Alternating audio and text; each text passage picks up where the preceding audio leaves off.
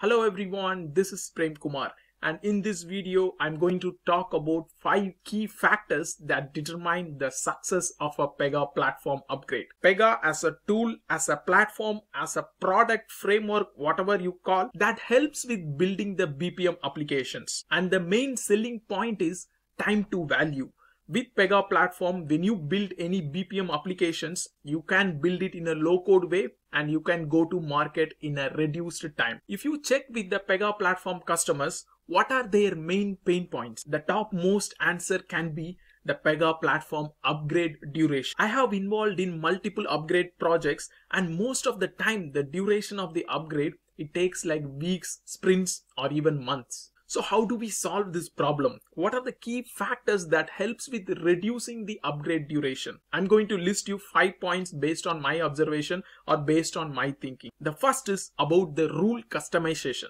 If you take all these upgrade issues, most of the thing, like at least 80% of the upgrade bugs are somewhere related to the rules which were customized on the application level. Pega always advise us to focus more on the configuration than the customization. But if you look at the real-time scenario, in most of the applications, we would have customized lot of out-of-the-box features. I've also explained about this in one of the previous video about planning your upgrade. A prerequisite is to run the Pega upgrade tool. There is a tool called Upgrade Checker which can help you with identifying the rules that were customized that can potentially cause some upgrade issues. Pega also sees in the same direction how to reduce the rule customization. In your application, if you have done lot of customization, of course there will be some kind of upgrade issues which you need to account for. So the only solution can be like how do you fix your customization? Can we revert back? Can we withdraw the rules and accept the out of the box rules? These are the key check marks that can help you with reducing the customization and can help you to have a smoother upgrade. Pega also do mark a lot of rules that can be extended for your application, but don't just extend or customize all the available rules. The second key factor is about the low code development. Again, this is kind of related to the first point where we talked about customization, right? Pega as a low code platform that can help you with building the application in a more low code way that can be more compliant and adhere to Pega guardrails. In the recent versions, you also might have noticed that Pega invested a lot in the App Studio as well as the Constellation UI design system. If you just look at the main problem it solves, just on a high level if you think okay we are using a latest front-end design system maybe our screens render faster there are a lot of statistics defined but at the back end, Pega is also going to solve the main problem of having a greater upgrade duration.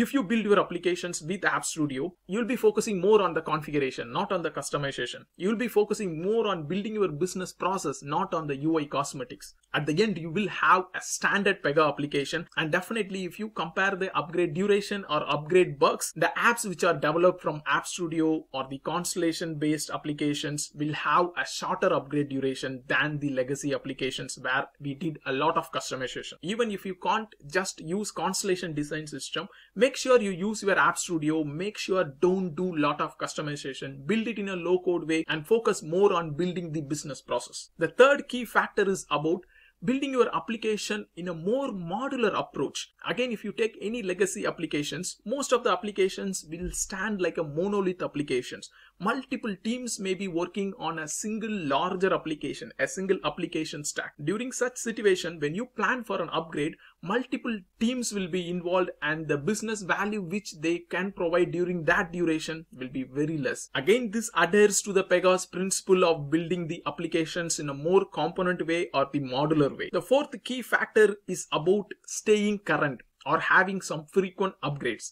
Definitely many are going to challenge me. How do the business accept when you want to upgrade like every year? Whenever a new version is released, if we ask the business that we are going to have some kind of upgrade, usually they will have a mindset that this is going to take multiple months. They will be not okay with that. But why I meant this as a key factor is, let me give you a comparison scenario.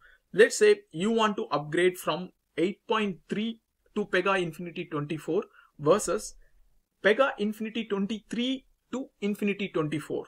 What will be the shortest duration? Of course, the risk is very less when you want to just upgrade one minor version comparing to four or five minor versions if you want to skip all those you have to go through all the release notes there can be multiple things changed in the higher versions right so you have to accommodate and it's going to be a bigger upgrade but let's say when you have a clear plan like every year you're going to upgrade one minor version. What you get with that is, of course, you will definitely have a reduced upgrade duration as well as you will be able to use the Pega new features very quickly. And I feel with this approach, when you have some frequent upgrades or staying current, definitely you will have a different mindset. You will just think that okay, a new version is released, can we just upgrade very quickly? And the fifth and final key factor is about your testing plan or having the right automation test scripts.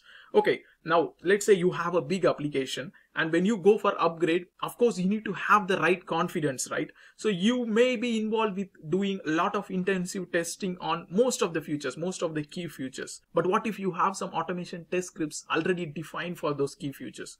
At a nightly batch, you can just run your automation test scripts and then get your main features validated against the automated test scripts. And with the test pass percentage, you can get your confidence. So it can reduce the risk so that you can also have a shorter duration. So it is strongly advisable to have the right test scripts clearly defined and don't just depend only on the manual testing have it equally defined right so you have this test matrix i don't want to go into deep but have the right automation test scripts, have your unit test, and then have some percentage of manual testing also. This can also significantly help your upgrade duration. So here I mentioned about five key factors that can potentially help the upgrade duration for any Pega applications. Of course, there can be few others which can be added to the list, but these are just my own observations based on my own experience. I'll see you in the next lecture.